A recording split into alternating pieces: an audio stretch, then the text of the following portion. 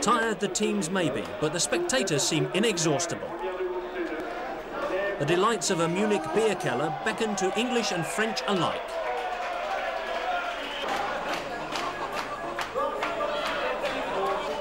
Cheers, or is it salut?